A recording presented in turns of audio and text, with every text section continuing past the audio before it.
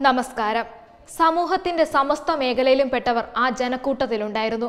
ഒരു കയ്യിൽ കല്ലുമായി മറുകൈയിലെ വാച്ചിലേക്ക് നോക്കി അവർ കാത്തുനിന്നു സമയം കൃത്യം അഞ്ചു മണി. മൂന്ന് വയസ്സുകാരിയെ പീഡിപ്പിച്ചു കൊന്ന ആ മനുഷ്യമൃഗത്തെ കൂട്ടിൽ നിന്ന് പുറത്തേക്കിറക്കി സ്റ്റേഡിയത്തിന്റെ ഏതോ കോണിൽ നിന്ന് ഫിസിൽ മുഴുങ്ങി. ആദ്യത്തെ ഏറിൽ തന്നെ അവന്റെ നെറ്റി പൊട്ടി.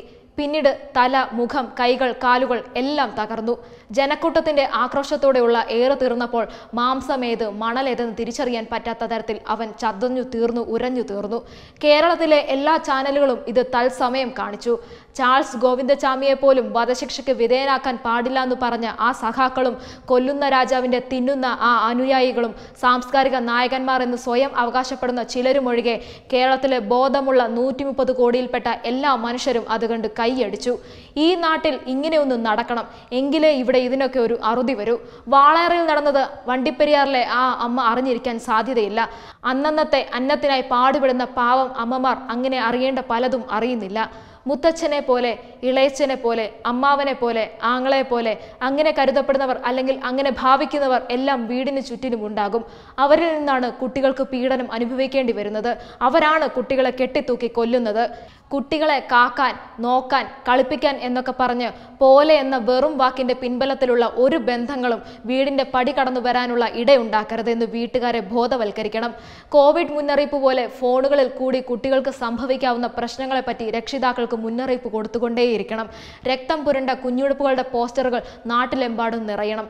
തൊഴിലിടങ്ങളിൽ പാടങ്ങളിൽ പാഠശാലകളിൽ ചന്തകളിൽ ഉല്ലാസ കേന്ദ്രങ്ങളിൽ അങ്ങനെ എല്ലായിടത്തും ഇത് ചർച്ചയാകണം. നിരന്തരം ഓർമ്മപ്പെടുത്തലുകൾ ഉണ്ടാകണം കണ്ണും ചെവിയും മറ്റു സംസ്ഥാനങ്ങൾക്ക് സമർപ്പിച്ച അന്തിച്ചർച്ച ജീവികൾ കേരളത്തിലേക്ക് വല്ലപ്പോഴും ഒന്ന് തിരിഞ്ഞു നോക്കണം. രണ്ടായിരത്തി ഇരുപത്തിയൊന്ന് ജനുവരി മുതൽ മെയ് മാസം വരെയുള്ള കാലയളവിൽ കേരളത്തിൽ നടന്ന പീഡനങ്ങളുടെ കൊലപാതകങ്ങളുടെ എണ്ണം എത്രയാണെന്ന് നിങ്ങൾക്കറിയാമോ? ആയിരത്തി അഞ്ഞൂറ്റി പതിമൂന്ന് ബലാത്സംഗ കേസുകൾ ഇതിൽ അറുന്നൂറ്റി ഇരുപത്തിയേഴ് കേസുകളിൽ കുട്ടികളാണ് ഇരയായത്. ലൈംഗിക അതിക്രമങ്ങൾക്ക് ഇരയായ പതിനഞ്ച് കുട്ടികൾക്ക് ജീവൻ നഷ്ടപ്പെട്ടു. ഇനി ഇത് ആവർത്തിക്കാതിരിക്കാൻ ആദ്യം സൂചിപ്പിച്ച സ്റ്റേഡിയം അവിടെ കൂടിയ ജനം.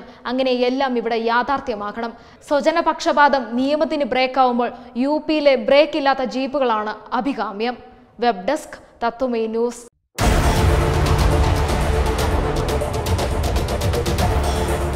Tatwamayi ഞാൻ എല്ലാ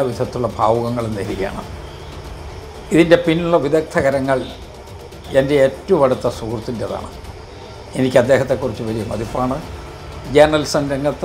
രാജേഷ് റെക്കോർഡുകൾ ഉണ്ടാക്കിയിട്ടുള്ള വ്യക്തിയാണ് എന്നെനിക്കറിയാം.